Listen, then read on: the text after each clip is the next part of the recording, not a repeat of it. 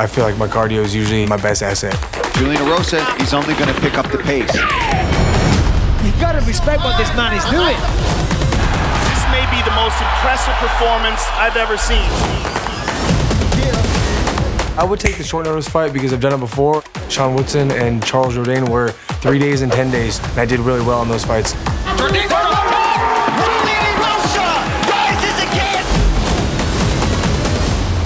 You definitely hear all sorts of voices around the cage, especially if you're over in their area. Ready? Fight's on. You do take into account what they're saying and what you can do to combat what, I need you to be classy. We gotta have our hands up. what's going right or what's going wrong. For me, celebrities aren't too exciting for me to meet, but if I could see any of the top fighters I like, I met Dominick Cruz and he's a guy like I am, but it was nice to meet him because he was one of my idols growing up. I think wrestling is the most important discipline because you dictate where the fight takes place. Look at this. Julian Erosa. I usually continue training, but I definitely drop my training a little bit.